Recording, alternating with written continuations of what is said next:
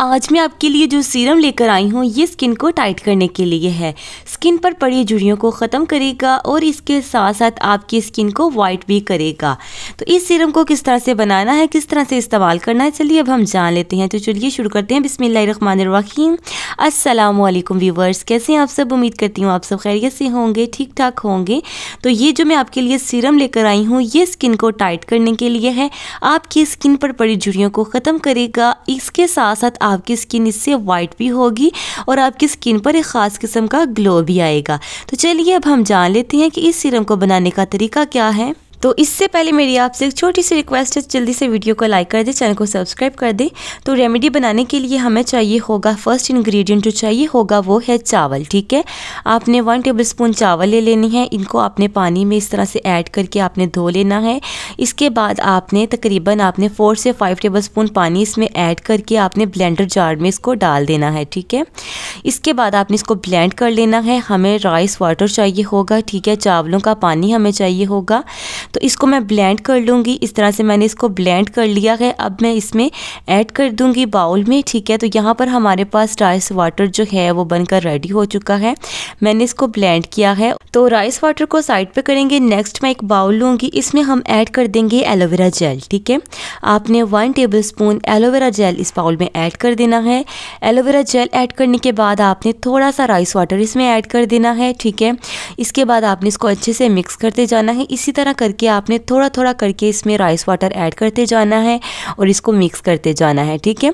आपने बिल्कुल थोड़ा थोड़ा करके इसमें ऐड करना है ताकि ये जो हमारा सीरम है बहुत ही स्मूथ सा बने और इसमें ज़्यादा ये जो राइस वाटर है वो भी इतना ज़्यादा ना हो, ठीक है? इस तरह से आपने थोड़ा थोड़ा करके इसमें ऐड करते जाना है। राइस वाटर जो है आपकी स्किन पर पड़ी जुड़ियों को ख़त्म करेगा स्किन को टाइट करने में हेल्प करेगा, इसके साथ साथ आपकी स्किन को वाइट भी करेगा। तो यहाँ पर आप देख सकते हैं मैंने राइस वाटर को एलोवेरा जेल में इस तरह से ऐड किया तो ये कुछ इस तरह की कंसिस्टेंसी में आ चुका है।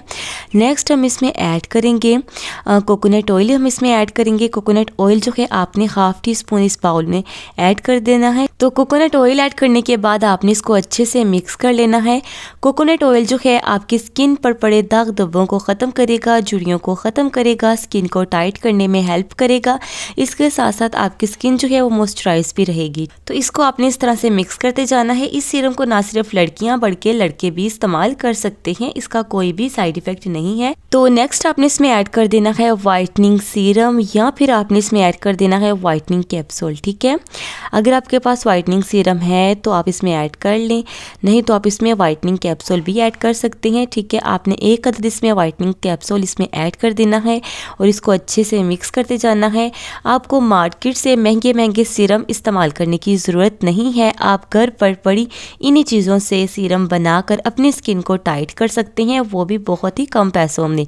इस तरह से आपने इसको अच्छे से मिक्स करते जाना है ताकि ये जो वाइटनिंग कैप्सूल हमने इसमें ऐड किया है, ये अच्छे से इसमें मिक्स हो जाए। नेक्स्ट मैं इसमें ऐड कर रही हूँ असेंशियल ऑयल ठीक है? अगर आपके पास है तो आप इसमें ऐड कर लें, अगर आपके पास नहीं है तो आप स्किप भी कर सकते हैं, ठीक है? आपने बस परेशान नहीं होना, इस तरह से इसको बनाना है और इसको इस्तेमाल करना है। तो आप देख सकते हैं यहाँ पर हमारा सीरम जो है वो बनकर रेडी हो चुका है। आपने इसको इस तरह से अपने फेस पर अप्लाई करना है, ठीक है? आपने अप्लाई करने के बाद इसको अपनी स्किन में ऑब्जॉर्व कर लेना है, ठीक है? आप हल्का सा मसाज करेंगे तो आपकी स्किन में ऑब्जॉर्व हो जाएगा। तो आपने इसको रात को सोने से पहले इस्तेमाल करना है और इसके बाद आपने मॉर्निंग में अपनी स्किन को वॉश कर लेना है। इस सीरम को आप डे में भी इस्तेमाल कर सकते हैं नाइट में भी इस्तेमाल कर सकते हैं, इसका कोई भी साइड इफ़ेक्ट नहीं है। इसके साथ साथ आपकी स्किन जो टाइट होगी, वो तो होगी, इसके साथ साथ आपकी स्किन पर ग्लो भी आएगा और आपकी स्किन जो है वो वाइट भी होगी, ठीक है? तो बहुत अच्छा आपको इसका रिज़ल्ट मिलेगा। तो आप इसको लाजमी ट्राई करिएगा और अपना फीडबैक मेरे साथ लाजमी शेयर करिएगा।